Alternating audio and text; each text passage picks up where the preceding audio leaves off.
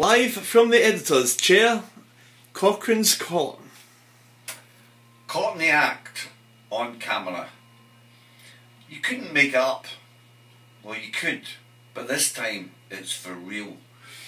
I refer to the front page story where community councillor and campaigner Ian Murdoch has revealed that he has photographs of the four elected councillors and some community councillors all illegally parking in that controversial street, Aitken Street in Largs.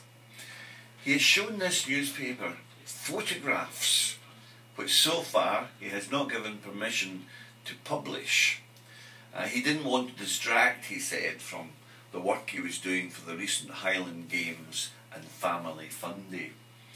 Now, Councillor Murdoch, who admits that he has at times himself parked on yellow lines during the course of his business as a window cleaner and general handyman, is making the point that there's no point, in fact, in certain people jumping up and down and creating all sorts of controversy when they, in fact, are culprits themselves. Personally, I resist the temptation to park outside Tesco's in Aitken Street, even on a quiet night, and I prefer to walk a short distance. But the problem is in Largs there are too many people, too many lazy folk that just come and sit outside the likes of Tesco. Now, lest I sound holier than thou, I would say at this point that as a non-churchgoer, which of course is among the overwhelming majority now in society, I do think there's a case for allowing the Sunday faithful to be allowed to park outside the churches. I mean, let's face it, the Sunday faithful are almost all in the pensioner category, and they're going about their godly business on a quiet Sunday morning when most of us are still turning over in our scratchers. I'm not saying I told you so, but I told you so as Vice Chairman of the Largs Development Trust. And that's another topic altogether.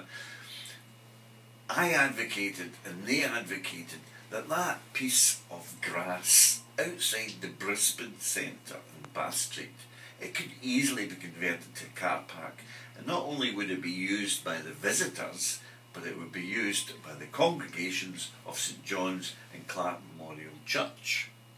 Now ironically, Councillor Tom Marshall, who opposed it with fire and brimstone, he is now, I believe, approaching the council and the police to try and take away some of the yellow lines outside the churches. However, the laugh of the week in the paper must be a front page photograph of a zebra crossing in Aitken Street. Now it's not a real zebra crossing, but this lady, one of our readers who wants to remain anonymous, has sewed a zebra crossing and she put it down at the weekend. Well, perhaps the lady could be allowed to turn up every so often and lay down a zebra crossing. Or maybe, just maybe, the authorities could finally decide, yeah, you know what, Aitken Street deserves a proper crossing. And that would do away with a lot of the aggravation.